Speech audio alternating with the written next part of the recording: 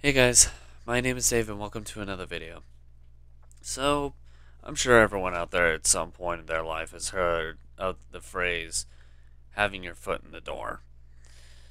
For those of you who haven't, it's basically giving the idea of taking a pretty big risk. But how many people out there have heard of the phrase double foot in the door? Quite frankly, up until about a week ago, I had never heard of it myself. I did some research on it, and I was like, you know what? I kind of like the concept due to the idea that it's a lot more strategic in a way.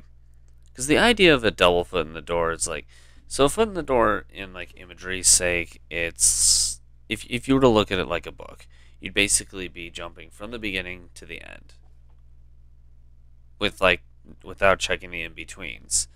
Double foot in the door, however, you'd be checking beginning, middle, and end. It's an interesting concept, to say the least. I can't say per se how long the phrase has been around, especially since somehow someone who tries to keep posts on this kind of stuff has never heard of it before.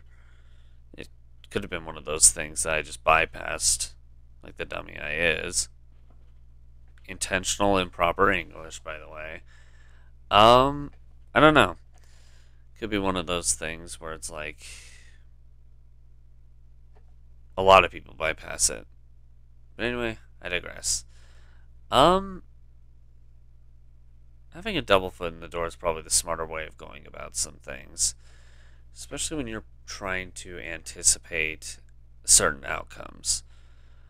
Um, if you're dealing with any kind of schooling or arithmetics, accounting, um, or any problem solving kind of scenario, probably best to put a double foot in the door rather than a, just the generic foot in the door kind of circumstance. I could probably think of different scenarios, but I guess there's not much to really say about this. So, as short as this is, I'm actually going to leave this here. Plus, yesterday's video was like 20 minutes long anyway. Thanks for tuning into this uh, short little video. This is something that I just kind of came across off the bat anyway, so don't really have much to say about it. Um, if you liked this video, though, make sure to push that like button. And so far, you can't see it anymore.